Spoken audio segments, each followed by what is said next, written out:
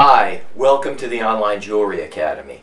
If you're one of our regular subscribers, you might have noticed that despite the similarities in appearance, I'm not Professor John Ahr., who normally does the videos. I know a lot of people say we look a lot alike, but if you were standing here, you'd immediately notice the difference. I'm a lot taller, and it's a dead giveaway. I'm Don, and today I'm going to show you how to make this. Now, you're probably looking at this and saying, well, that doesn't look like a piece of jewelry. That looks like a piece of trash that you should throw away. And you're probably right. Uh, not that I should throw it away, but that it looks like trash. But you'll be amazed at what this trash can do. When it comes to photographing jewelry, this will become your lifesaver. Because photographing jewelry in today's world is so much more important than it was back in the early days when we still ate dinosaur meat. Now, when you go out to sell your jewelry, you're really not going out. You're really selling it through pictures. And so having the best pictures is really more important than it ever was because that's the way you're going to sell your jewelry. That's the way you're going to make money. Flat pieces of jewelry like the ones I'm showing here, these are very tough to, to photograph because they're flat and they reflect everything. They reflect hot spots of light, they reflect things around the room. Very hard to photograph. And using this, it makes it really, really easy. A piece of jewelry like this one here, that's all organic, uh, this is really a pretty easy piece of jewelry to photograph. But I'm going to show you some of the tricks to making this piece look better too. And these pieces of jewelry are translucent. When you have translucent jewelry, underlighting it as well as overlighting it is really important because it just brings out the piece and makes it glow. So I'm first going to show you how we actually make this. Afterwards, I'm going to show you some of the tricks of how to photograph your pieces to really make them look great.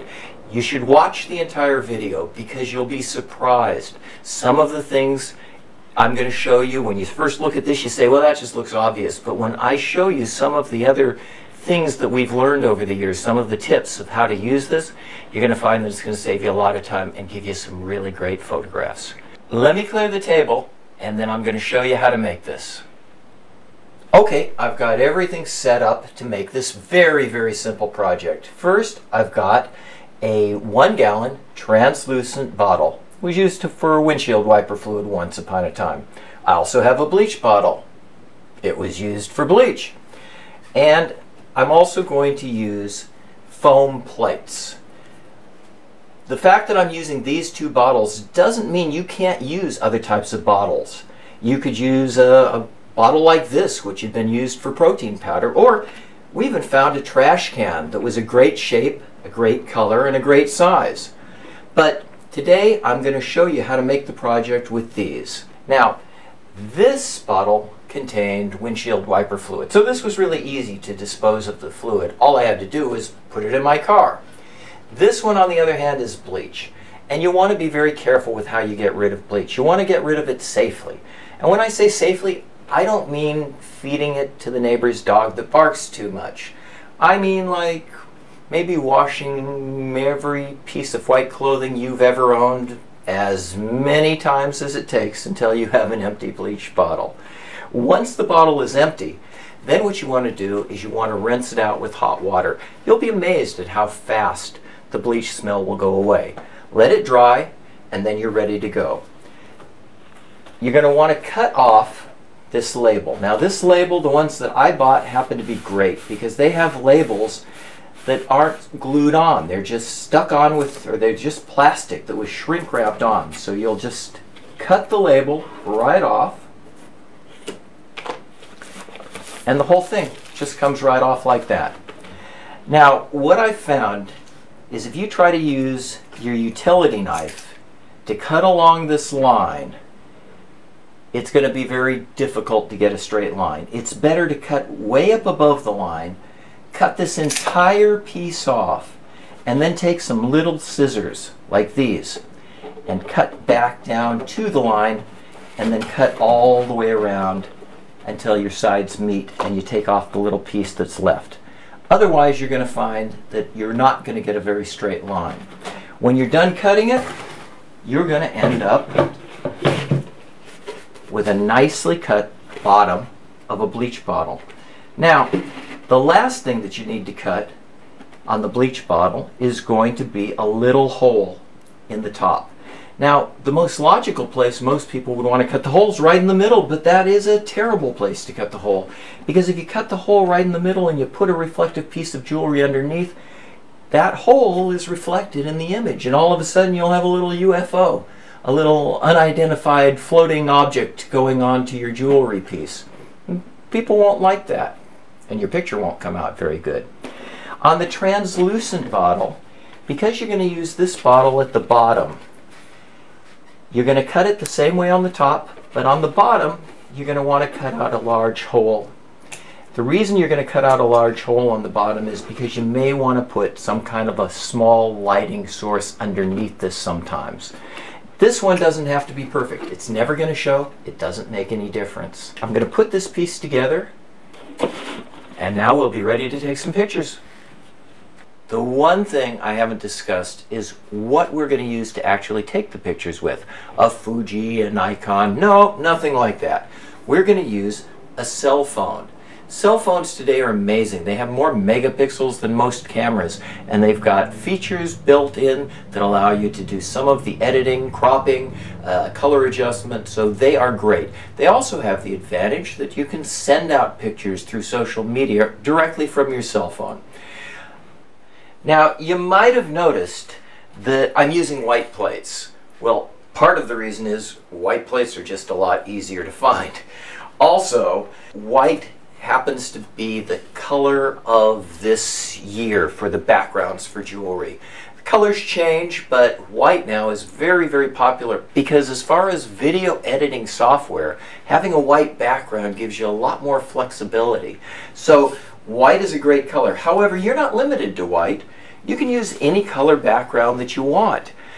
One of the things you do want to kind of check after you've made your project is you want to kind of look in here, make sure there aren't any lumps or weird spots on the plastic that would cast uneven shadows. If there are, then you might have to go back and get another bottle of bleach. Lighting.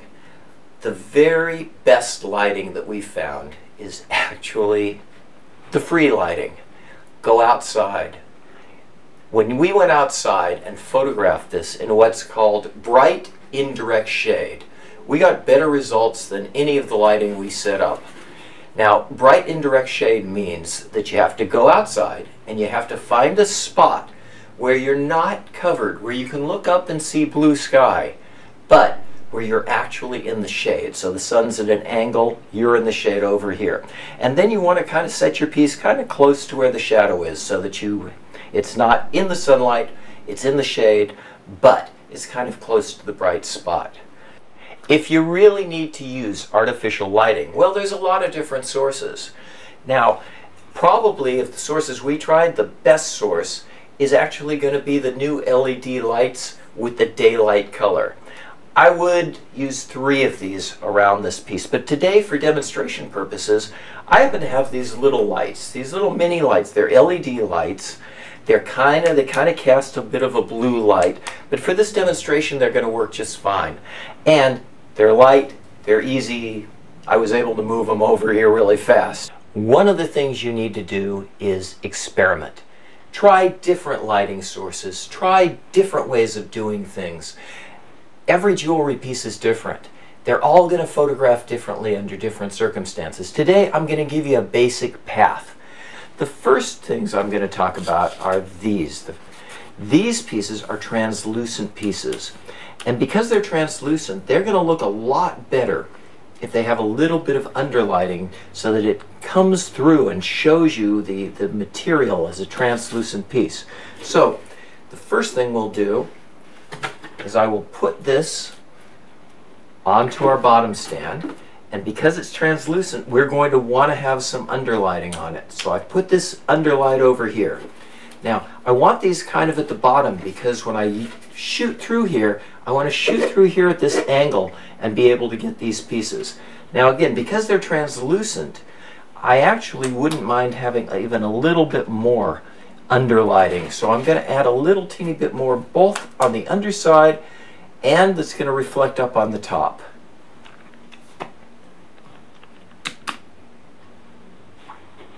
I'll put my piece up and you'll notice that I'm putting the hole on the opposite side.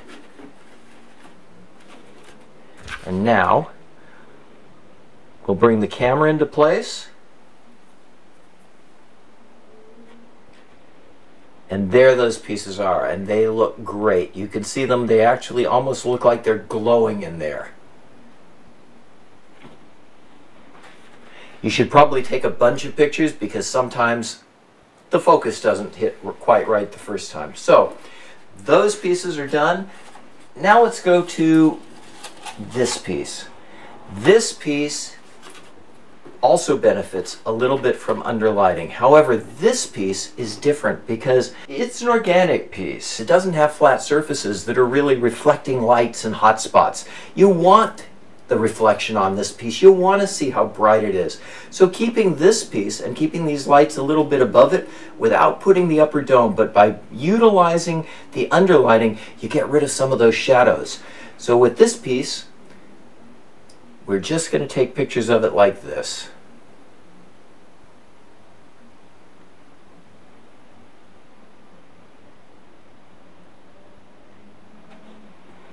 And our last piece, these two pieces, these are the tricky ones. These need everything. These need any bit of help they can get because you can see they are bright any they reflect any surface. They reflect the lighting up above, lines, whatever else. But in this case, we don't need underlighting because if we put underlighting under these pieces, they're going to make them, they're going to put them in silhouette. So we don't want any underlighting under there. We actually don't want a lot of overlighting on them because we'll start getting a reflection. However, what we do want is we want this upper dome to kind of glow so that it will light the piece from up above and it's going to look great. You'll see.